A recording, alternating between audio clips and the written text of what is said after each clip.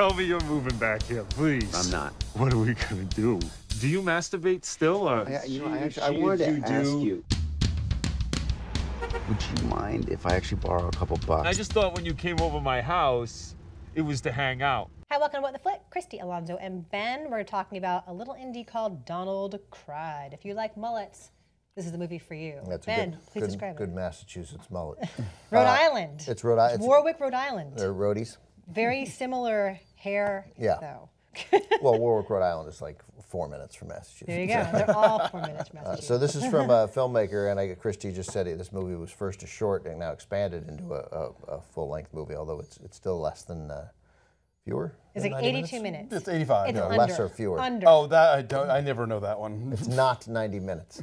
Um, uh, from uh, Kris Avedisian is his name, and he's, he plays Donald in it.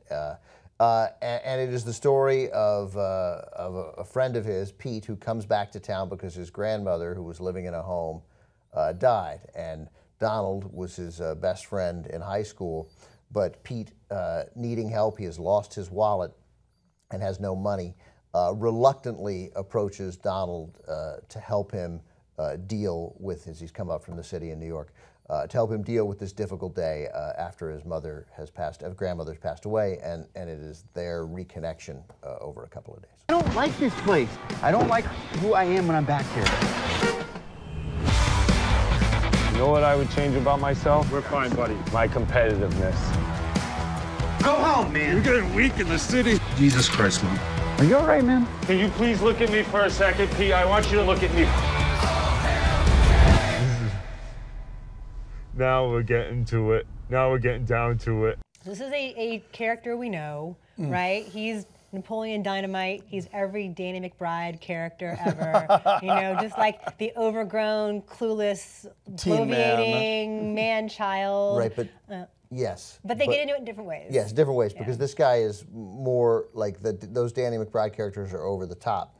They're, they're, um, they're satirical, really. Yeah, this guy's tragically believable. This guy's tra- tra- really tragically believable. There's an unquestioned there's sadness to him and his situation and his life and his desperation then to reconnect with Pete, despite Pete's for the first well all of the movie in many ways reluctance and abhorrence of this guy in a sense because Pete is, you know, he's in New York. He works at a bank. yeah, Okay, he's he's super condescending. super condescending, but but Donald is he's super condescending, but Donald is brutally inappropriate. Uh, so like you don't like you, at the moment you think Pete is like oh Pete cut him a break, and then you're like nope don't don't cut him a break.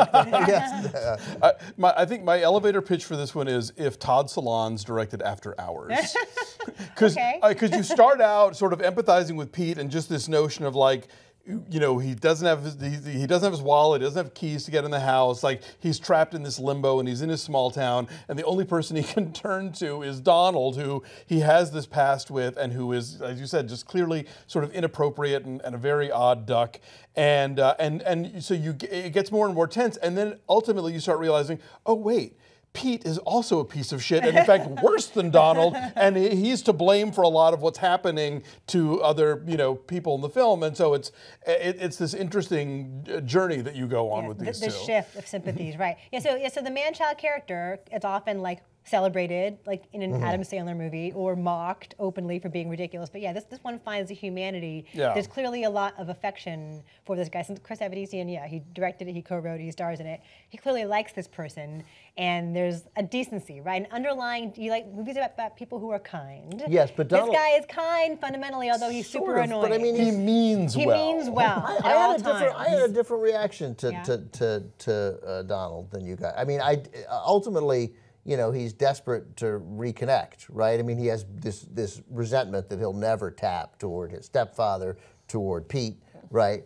Um, uh, but he is he is he is so rude and so inappropriate. I mean, he is much of his isolation is caused by him. That ultimately, you imagine some people who uh, might have wanted to spend. You can't spend time with that guy. You He's a social moron. He's a social moron, and and it doesn't. It's not just that he's. You know, you can't. It's not the kind of guy you can go, oh, Alonso. He doesn't know what to say, but he's fun. Like it's oh, he doesn't know what to say, and he's and he sometimes is mean and a liar. Um, so Not me. right? Not you. Uh, You're just so- a liar.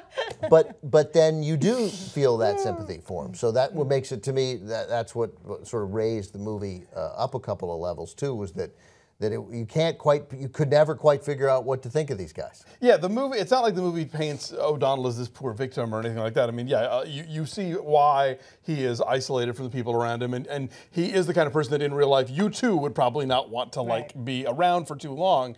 But at the same time, and once we get to know more about his relationship with Pete and the context of all that stuff, you at least sort of feel for him, even though the movie it, it never backs down to making him a real piece of work. Yeah, there was a moment in it. There's a family scene in the movie that caused it toward the back half of the movie, and that I had a real like, oh crap moment. Like, like it was, so that was a really nice turn because it told you more about Donald than you expected. It was, in some ways, shocking, even though nothing shocking mm-hmm. happened in it. But I did not expect it. I did not expect anyone lived in that house. You know, there was just, I was just a moment of like, really? Oh, oh, Now look that at that. sense. Right? Yeah. Right. Yeah. Right. There's a really vivid sense of place in the interiors. If you notice the, the posters on Donald's Oh, wall, man, yeah. Yeah, his Jesus. clothing. Um, at one point in their weird long night together, they go to a fundraiser where a bunch of their high school friends are, and it's just like, again, it's not mocking. I don't think it's condescending, but it's this vivid sense of like small town,